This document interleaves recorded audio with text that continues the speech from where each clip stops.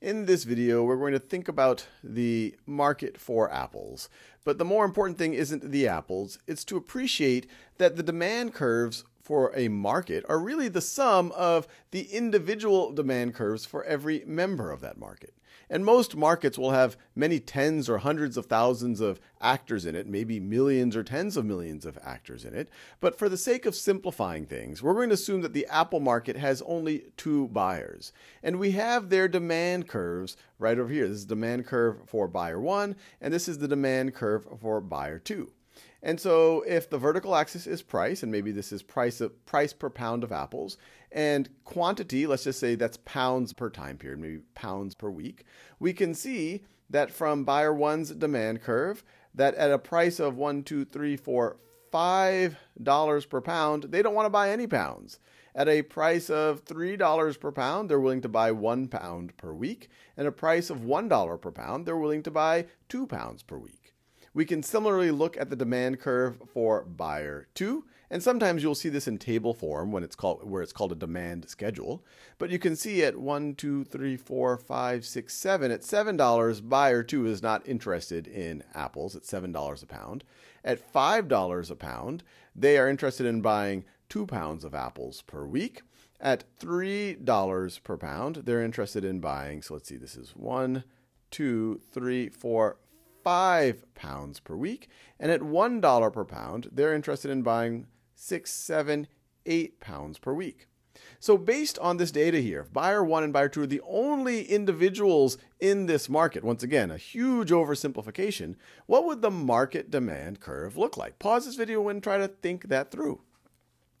Well, if we go to the various prices, so let's see, at a price of $7, there is not going to be any interest in any apples. So I could maybe put that right over there at a price of $7. But what happens as the price goes down? And we could just sample what happens when we get to a price of $5. Buyer 1 is still not interested, but buyer 2 is now willing to buy 2 pounds per week. And so at a price of $5, the market as a whole is willing to buy two pounds from buyer two and zero pounds from buyer one. So we'll have a total of two pounds. So right over there.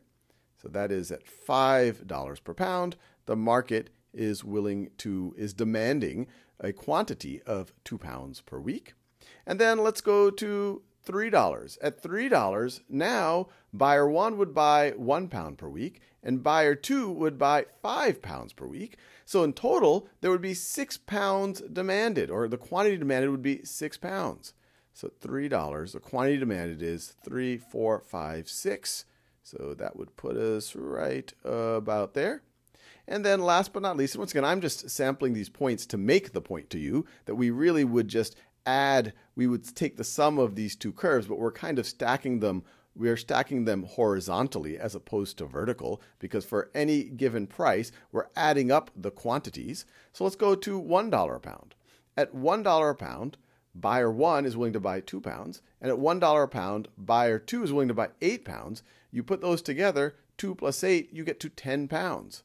So this was 2, 3, 4, 5, 6, 7, 8, and then 9 and 10, we're going a little bit off the screen here. I could have planned better, better for it, but let me go all the way over here. So I'll extend my axis. So that's 9, and then this is 10. So that at $1, the market would be willing to buy 10 pounds per week.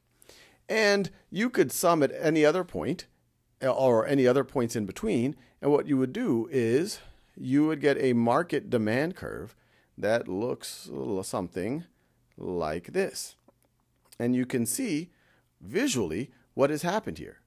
For any price value, we are summing the quantities for all of the buyers in the market. Now, here there's only two buyers. Now, if you were doing this in the real world, you might be dealing with millions of buyers. But this is just to understand how a market or where a market demand curve is actually coming from.